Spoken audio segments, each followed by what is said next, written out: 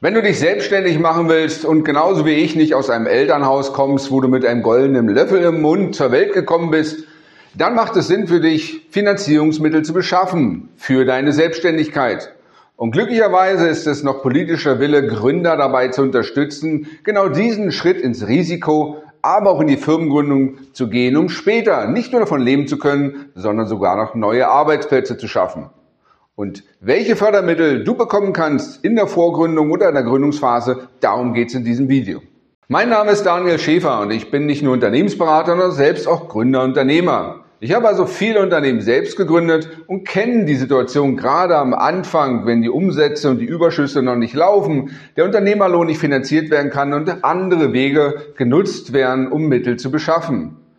Heute hat sich vieles verändert. Viele Förderprogramme sind vorhanden, die auch du nutzen kannst. Und ich zeige dir heute, wie du mindestens zweimal 5000 Euro für deine Gründung auch erhalten kannst. Und das Besondere ist, diese Mittel sind Zuschüsse, also nicht rückzahlbar.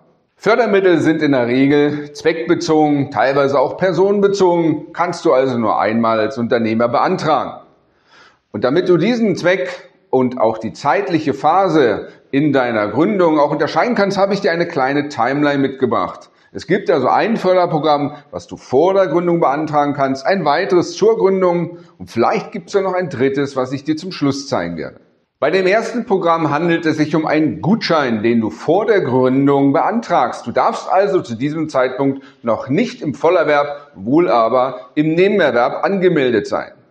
Diesen Gutschein, diesen AVGS Aktivierungs- und Vermittlungsgutschein bekommst du bei der Agentur für Arbeit oder beim Jobcenter. Und darin enthalten sind Beratungsstunden, und zwar in der Regel 80 Unterrichtseinheiten mal 45 Minuten im Wert bis zu 5000 Euro. Und mit diesem Gutschein kannst du in Einzelberatungen deine wichtigen, deine persönlichen Themen individuell mit einem oder mehreren Beratern besprechen.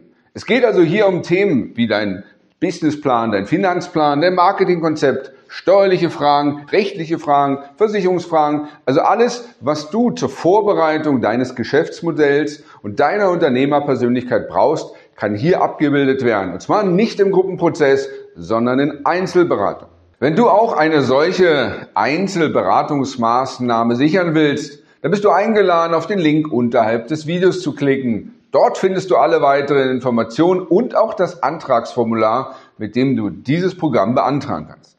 In der zweiten Phase gibt es Förderung zur Gründung. Das heißt, du machst dich selbstständig und brauchst noch Mittel für Investitionen. Dann bist du eingeladen, den Antrag nach 16c SGB II zu stellen.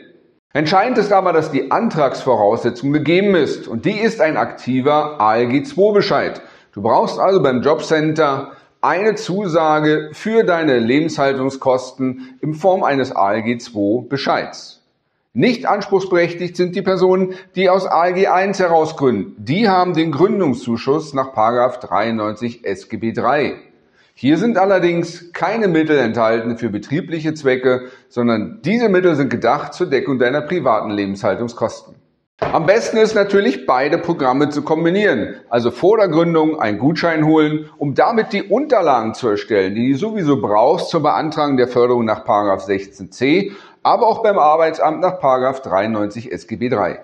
Wenn du nun einige Zeit selbstständig bist und das läuft noch nicht so gut, also bist weiterhin angewiesen darauf, dass das Jobcenter deine privaten Lebenshaltungskosten aufstockt und die Krankenversicherung übernimmt, dann kannst du nach 24 Monaten diesen Finanzierungsbaustein noch einmal beantragen, wenn du nachweisen kannst und die Sachbearbeitung überzeugen kannst, dass diese nächste Investition als Zuschuss das Ende der Hilfebedürftigkeit erreichen kann. Auf der anderen Seite, wenn es gut läuft und du wachsen willst, dein Warenlager vergrößern, deinen Standort verbessern, Mitarbeiter einstellen möchtest, dann gibt es auch Investitionsmittel, die bezuschusst werden, nämlich das KfW Startgeld. Hier ist es zwar auf der einen Seite so, dass die bis zu 125.000 Euro, die du von der KfW bekommst, zurückzahlen musst als Darlehen, aber die Bürgschaftskosten werden von der KfW genommen. Und 10 Jahre mal 1,5 Prozent mal 100.000 sind auch 15.000 Euro Zuschuss.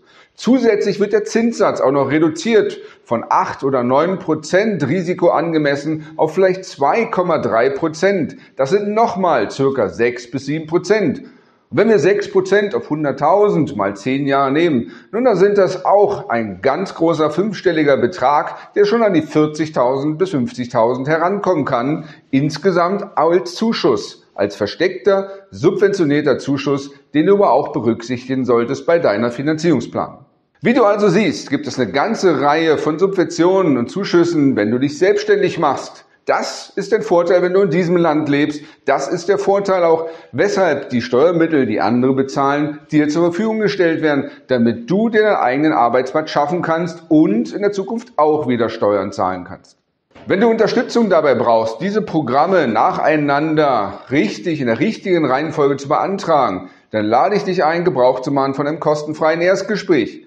Denn viele Gründer kommen zu spät zu uns und haben die ersten Fehler gemacht, haben sich schon angemeldet oder haben entsprechende Anträge nicht ausgefüllt oder die Voraussetzungen, die es gilt zu beachten, nicht eingehalten. Wenn beispielsweise Investitionen zu früh getätigt werden oder der Vollerwerb zu früh angemeldet wird, verlierst du viele dieser Subventionen.